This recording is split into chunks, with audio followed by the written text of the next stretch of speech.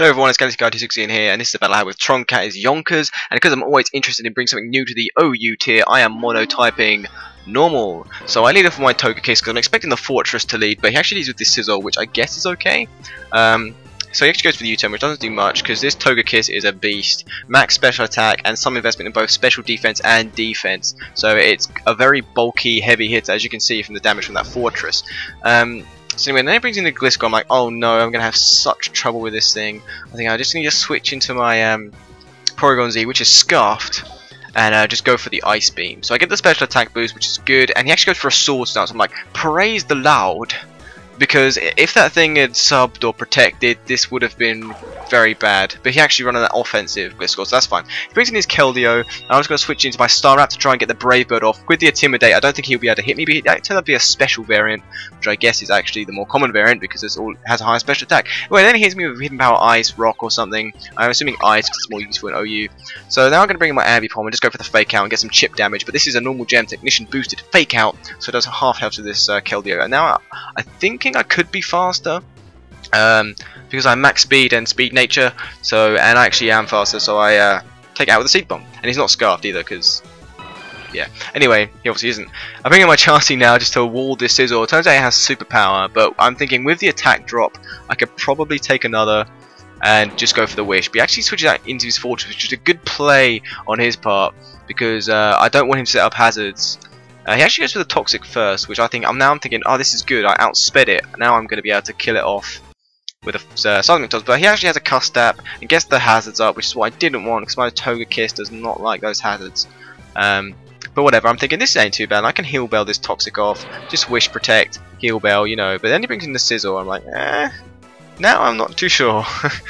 Because uh, I could have gone for the Heal Bell here, but then I would have died to the sizzle next turn. So I go for the safe Wish to at least get some health back. So I'm just going to protect, get the wish. I'm not sure if there's a min-max wish thing, but I'm pretty sure I got like duped on my wish. I should go back to the wish store and complain because that wish was useless.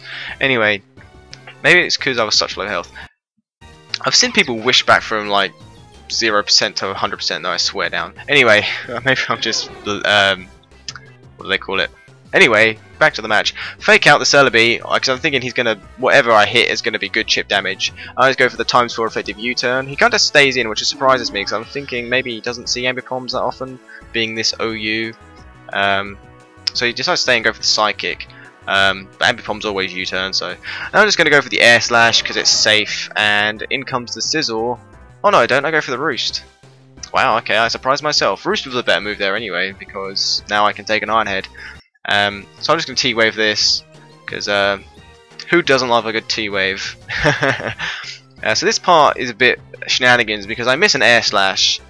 Um, I guess the Hacks Demigod Togekiss, uh, obviously it's no Jirachi, but um, the Hacks God uh, Jirachi would not bless me with an actual hit on my Air Slash, even though it's like 95% accuracy, I swear down.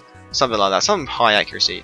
So I missed that, so I'm just going to roost and make sure I'm healthy enough to take an Iron Head. But I actually get the power on the roost, which is nice. So that means I can go for flinch, uh, an air slash, get the flinch, an air slash again, and I hit two successive air slashes, which is good.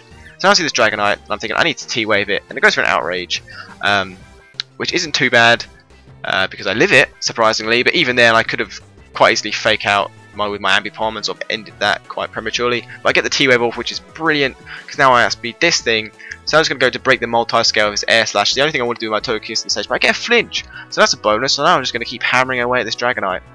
My second air slash does a whole lot more to it. I'm thinking if I live, I can, uh, if he gets power, I can go through with another air slash. But he actually doesn't.